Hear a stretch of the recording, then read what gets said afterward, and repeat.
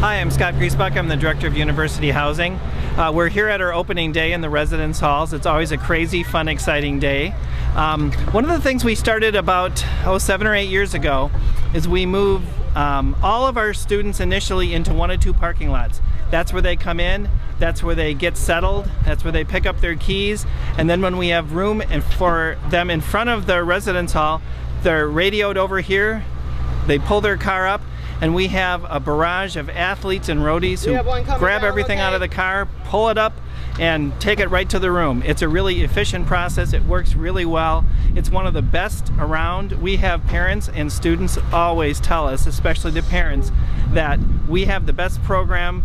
Their, their kids are moved in in 10 minutes, and I wish every other university did it the way we do it.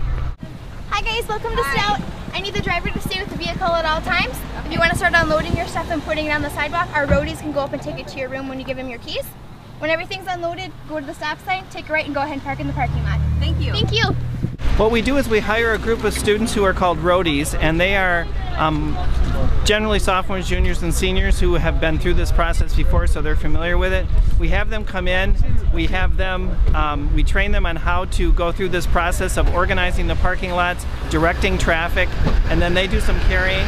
But then we also um, developed a partnership with the athletic department because we have great coaches and great athletes here at UW Stout, and the and all the folks in the athletic area um, work today too, and we have all the teams at the various locations. So like like one hall will have um, football team, actually two halls because we have a big football team. We also have a tennis team, we have our soccer, we have cross country, we have the cheerleaders here, we have the Blue Crews, which is some of the people who raise spirit for the campus.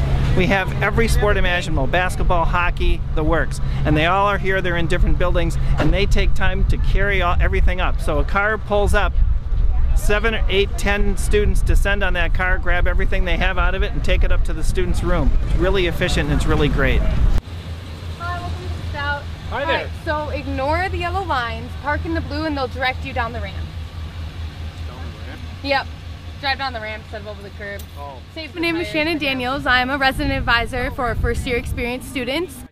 Um, today we are directing traffic and move-in day, so we're trying to have everything go smoothly as possible, and we're here just to say hi and make sure everything's going smooth for the freshmen. I'm having a fun time. I mean, parents are kind of looking at me like I'm crazy, but I'm just I'm just going for it, doing those conducting moves and stuff.